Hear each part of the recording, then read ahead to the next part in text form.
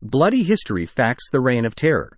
During the French Revolution, the Reign of Terror led to the execution of thousands of people by guillotine, including King Louis XVI and Queen Marie Antoinette. The Rape of Nanking. Japanese forces captured the Chinese city of Nanking during the Second Sino Japanese War and committed horrific atrocities, including mass rape and murder, resulting in an estimated 200,000 deaths. The Battle of Stalingrad. This brutal battle between Nazi Germany and the Soviet Union during World War II resulted in over 2 million casualties, making it one of the deadliest battles in history.